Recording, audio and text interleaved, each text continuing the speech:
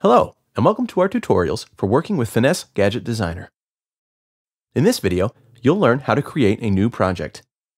Let's begin by visiting the URL and by entering your username and your password.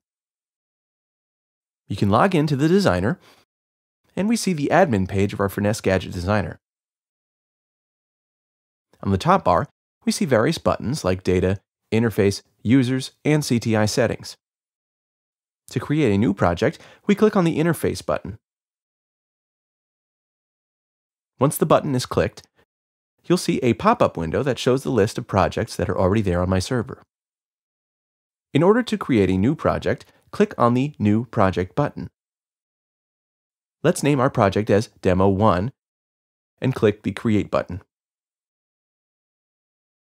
We can see our Demo 1 project is created.